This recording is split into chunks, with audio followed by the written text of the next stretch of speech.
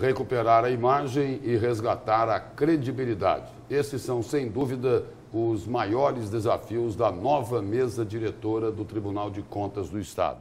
E pela primeira vez em mais de 60 anos, os conselheiros substitutos estão ocupando cargos de direção no TCE. É que não tinha outro jeito. Dos seis conselheiros titulares, depois da delação de Silval Barbosa, sobrou apenas um o atual presidente Campos Neto. O Supremo Tribunal Federal, só para relembrar, afastou cinco conselheiros que foram acusados pelo ex-governador de cobrarem propina para facilitar a aprovação das contas do governo e fazer vistas grossas para a má aplicação dos recursos públicos.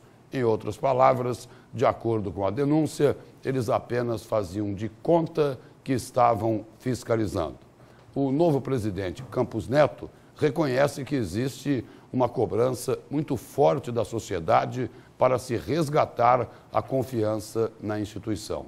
Mas essa não será uma tarefa fácil.